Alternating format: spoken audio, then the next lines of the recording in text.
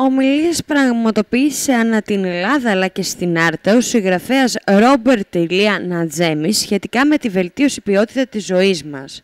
Σε γνωστό ξενοδοχείο της περιοχής της Άρτας, ο Ρόμπερτ Ηλία Νατζέμι αναφέρθηκε και έδειξε τεχνικές στο κοινό της Άρτας σχετικά με την ευημερία ακόμη και σε δεσμενείς συνθήκες εξηγώντας ότι είναι σημαντικό να καταλάβουμε ότι η ευημερία είναι πολύ μια εσωτερική κατάσταση παρά μια εξωτερική.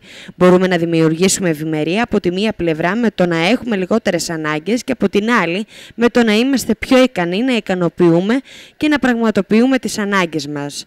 Αναφέρθηκε στις δύο πλευρές. Ο Σαϊάμ Μπάμπα έχει πει ότι ο πιο πλούσιος άνθρωπος στον πλανήτη είναι ο άνθρωπος με τις λιγότερες ανάγκες και ο πιο φτωχός αυτός με τις περισσότερες ανάγκες. Η ικανοποίηση λέει, που βιώνουμε, που μπορεί να λέγεται ευημερία, ο πλούτος που βιώνουμε είναι σχετικός με το τι χρειαζόμαστε, τι έχουμε πιστεί ότι χρειαζόμαστε με αυτό που έχουμε. Μπορεί να έχουμε πολύ πιο λίγα και να αισθανόμαστε σαν τους πιο τυχερούς ανθρώπους στον πλανήτη. Και μπορεί να έχουμε πάρα πολλά και να είμαστε δυστυχισμένοι επειδή δεν έχουμε κάτι που θα θέλουμε ή γενικά δεν είμαστε ικανοποιημένοι. Η δεύτερη έννοια που έδωσε είναι ότι θα πρέπει να αναθεωρήσουμε τι σημαίνει ευημερία. Οι περισσότεροι άνθρωποι δυστυχώς το ερμηνεύουν οικονομικά και μόνο. Δεν λένε έχω αυθονία επειδή έχω αγάπη, επειδή έχω υγεία, επειδή έχω γνώσεις, επειδή έχω νόημα στη ζωή μου. Δηλαδή, οι περισσότεροι άνθρωποι πρέπει να αναθεωρήσουν τι σημαίνει πλούτος, τι σημαίνει αυθονία, τι σημαίνει ευημερία. Τι νόημα έχει να έχουμε πολλά χρήματα και να μην έχουμε αγάπη; Τι προτιμάτε; Να έχω πολλά χρήματα και να μην έχω υγεία; Ή να μην νιώθω ότι στη ζωή μου έχει νόημα; Ή να μην έχω μία σύνδεση με κάτι ανώτερο ή με τους ανθρώπους γύρω μου; Τόνισα. Είμαστε ένα φιλανθρωπικό, μορφο, μορφωτικό και μικροσκοπικό σωματείο που υπάρχει εδώ και 43 χρόνια στην Ελλάδα και όλοι που εργάζονται στο έργο αυτό εργάζονται χωρίς πληρωμή.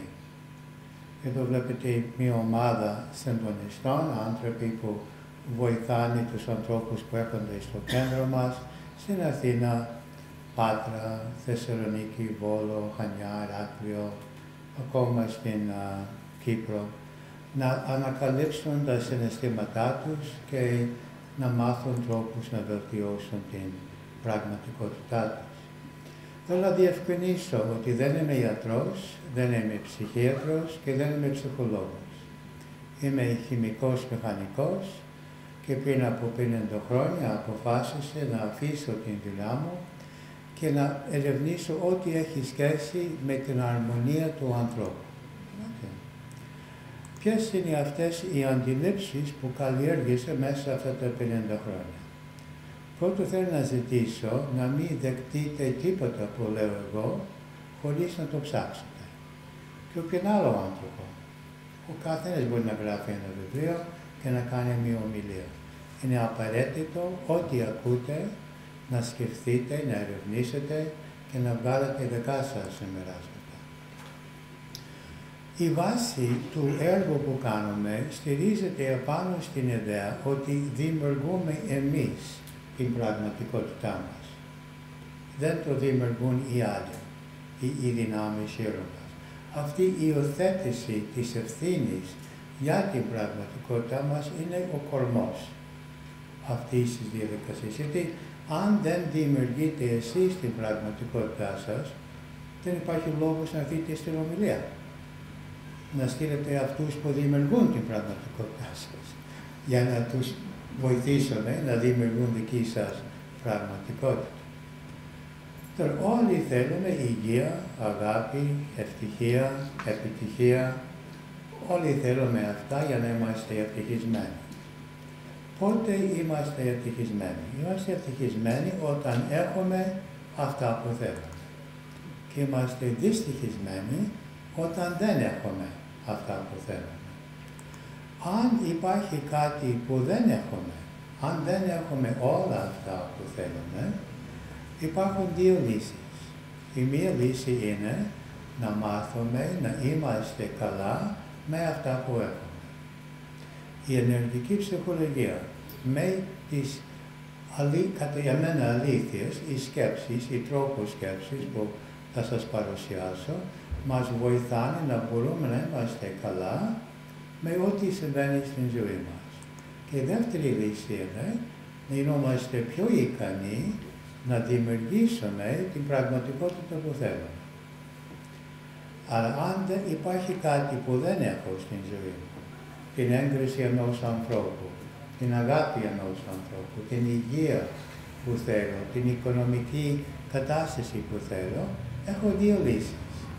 Η μία λύση είναι να είμαι καλά με την κατάσταση όπως είναι και η άλλη λύση είναι να αλλάξω την κατάσταση.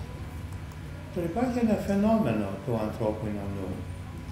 Και αυτό είναι ότι αν έχω 20 πράγματα που θέλω και έχω 19 και δεν έχω ένα, στενοχωριέμαι το ένα και χάνω τα 19 σαν δεν υπάρχουν.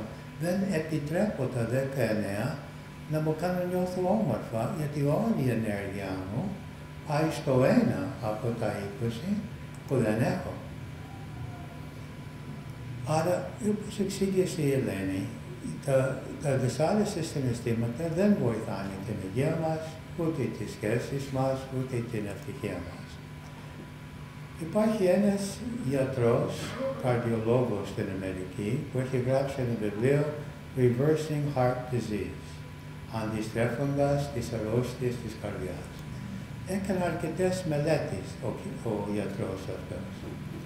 Σε μια μελέτη στο Yale University, 119 άντρες και 40 γυναίκες, αυτοί που νιώσανε ότι οι άλλοι τους αγαπάνε, είχαν καλύτερη ροή στους μυς της καρδιάς, αίματος στους μυς της καρδιάς. Σε μια άλλη έρευνα, σε 276 άτομα, είχαν καλύτερη υγεία όταν νιώσανε με περισσότερες συνδέσεις με άλλους ανθρώπους.